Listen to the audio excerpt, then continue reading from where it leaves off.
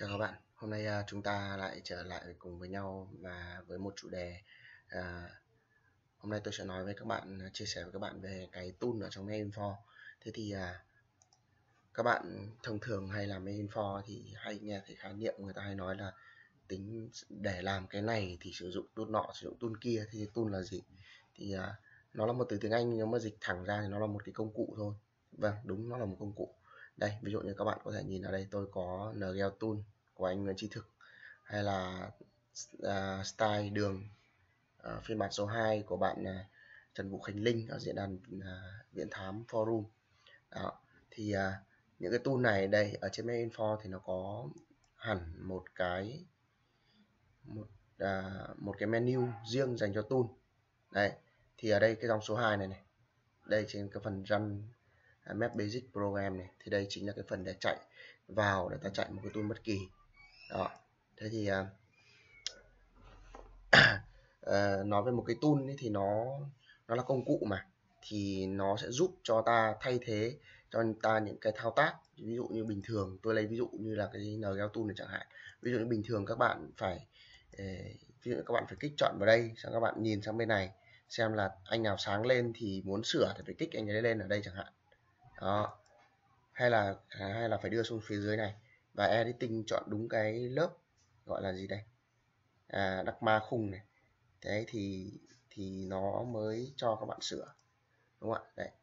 Thế thì thế thì à, đấy là nhiệm vụ của một số những cái tool thông thường là như vậy. Nó giúp cho cái giúp cho người dùng có thể là tiết kiệm cái thời gian và cái công sức làm việc đặc biệt là về sau mà các bạn nào tìm hiểu nhiều và các bạn nào đã làm việc nhiều với cả à, for nhiều thì các bạn biết là có những cái mà các bạn mà làm thủ công có cả tháng cả năm không xong nhưng mà tool nó chạy vài phút là xong. Đó, là tác dụng của tool. Giống như việc các bạn đi bộ cũng thế một ngày các bạn đi bộ uh, tầm à, ờ, uh, 5 cây thì chắc phải mất cả tiếng. Nếu mà đi xe đạp khoảng 20 phút rồi đi xe máy thì chắc là 15 phút thôi à, 5 phút. Thế thì như vậy thì cái phần tool này ấy, thì để ứng dụng cho cái công việc thì tốt nhất là các bạn vẫn nên phải biết cái cơ, cái cái phần cơ bản trước, sau đó các bạn mới đi vào cái nội dung của các cái tool được. Mà tool thì rất nhiều. Bản thân Manfor đã cung cấp một bộ tool. Đây các bạn có thể vào cái phần tool manager này. Đây các bạn có thể nhìn. Đây trừ ba, bốn cái tool đầu này là của tôi, vừa mới đưa vào. Còn tất cả những cái tool ở phía dưới này đều là của Mainfor và các bạn có thể là gọi nó lên bất kỳ khi nào.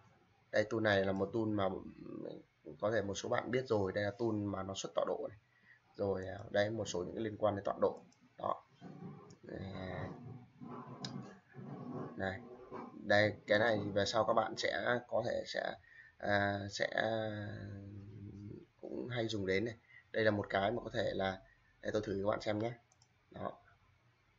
À, bây giờ các bạn sẽ có thể là à, lấy bất kỳ một đối tượng nào vào đây. Sau đó các bạn chuyển lên Google. Đấy thì là thông qua cái tool này này các bạn thấy không? Đây export map to Google Earth đây đúng không ạ? Đấy thế thì để tôi có thể tôi lấy một cái đối tượng nào đấy ví dụ tôi lấy cái hồ này đi. Vì uh, những cái đối tượng như thế là hồ nước những cái hồ nước lớn rồi thì uh, thì cái đối tượng thủy văn thì thông thường nó cũng ít bị thay đổi. Dòng chảy thì cũng lâu lâu thay đổi một lần thì nó không thể thay đổi liên tục được đúng không ạ?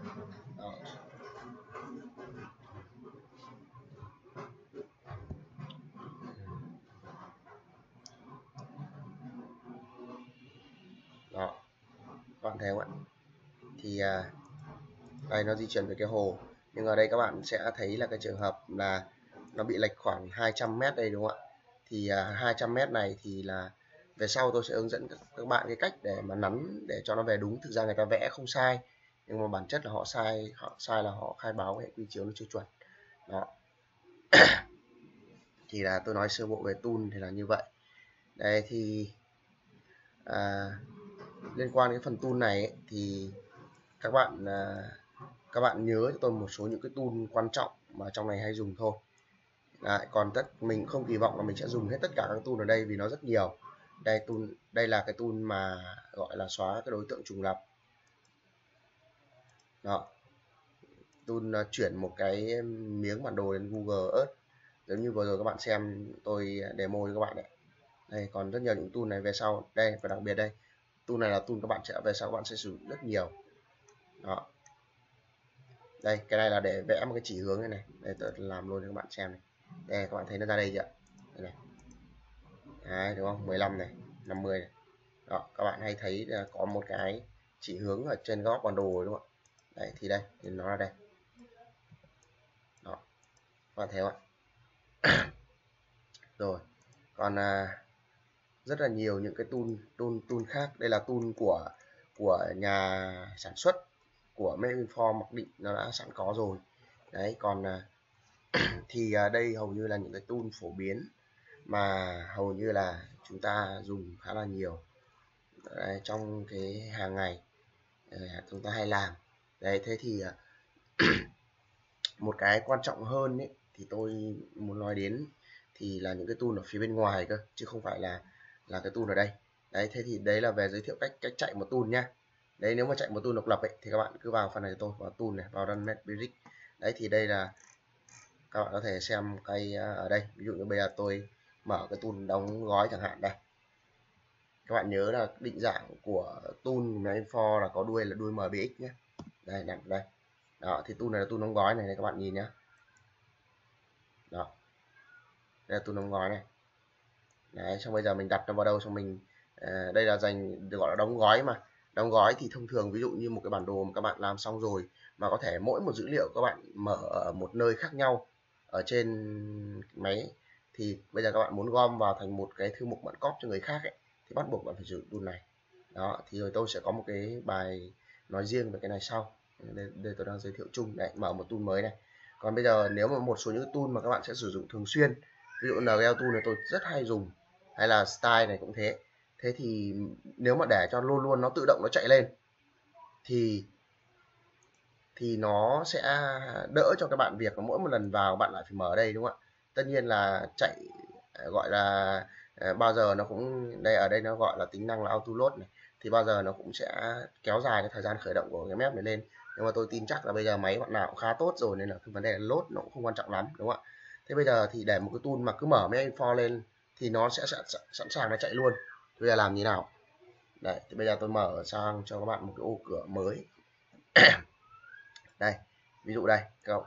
Đấy nó tự động chạy lên như này nhá. Thì các bạn vào tool này vào tool manager này. Xong bây giờ các bạn vào cái phần add tool này nhá. Đó các bạn vào đây này. À, sau đó thì ví dụ như tôi tôi sẽ nói vào cái phần tool ngoài trước là ở đây. Đấy ví dụ như ở đây sẽ có rất nhiều tool này.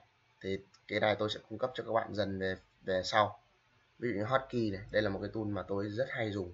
Và coi như bây giờ mà thiếu nó tôi cảm thấy làm như kiểu mình bị mất một cánh tay rồi. Đó open này.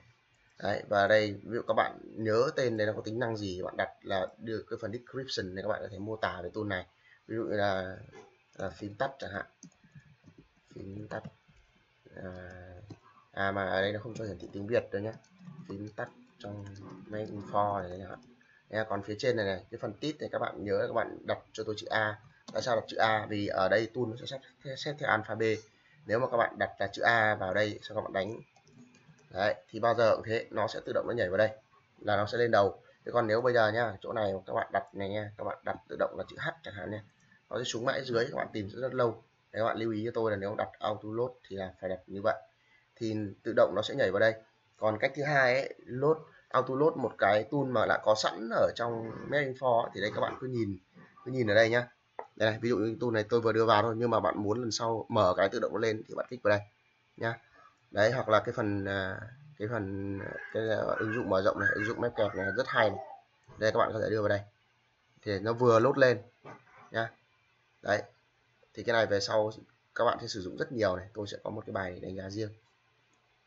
Đây là, gọi là, tính năng à, tìm kiếm của nó, rồi tính năng copy paste style rồi thì vẽ vời một số đối tượng. Cái này khá hay ở trong kép, coi như các bạn có thể là vẽ kết ở trên map cũng tương đối, nó cũng vừa vừa phải thôi, nó cũng không được tối ưu nhưng mà cũng khá khá rồi. Đỡ so với việc các bạn phải ngồi mà thao hồ mà tính. Đó, là một cái đoạn giới thiệu nó ngắn ngắn về về à, tool là như vậy. Thì đây là bài tổng quan. Còn các cái bài sau thì đối với mỗi tool tôi sẽ có một cái đoạn hướng dẫn để cho các bạn uh, dễ không trong một bài mà hướng dẫn nhiều quá thì nó cũng khó. Rồi ok cảm ơn các bạn.